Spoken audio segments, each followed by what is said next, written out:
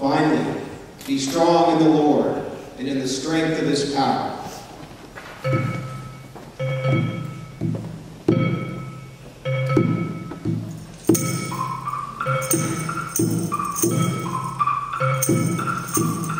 Put on the whole armor of God, so that you may be able to stand against the wiles of the devil. For our struggle is not against enemies of flesh, but against the rulers,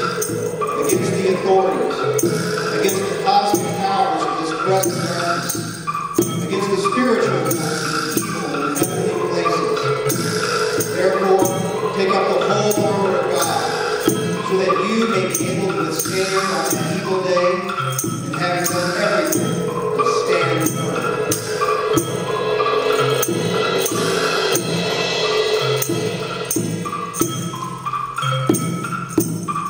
Stand therefore, fasten the belt of truth around your waist, and put on the breastplate of righteousness, and shoes for your feet, and put on whatever will make you ready to proclaim the gospel All these, take the shield of faith, with which you will be able to quench all the flaming arrows of the evil one. Take the helmet of salvation and the sword of the Spirit,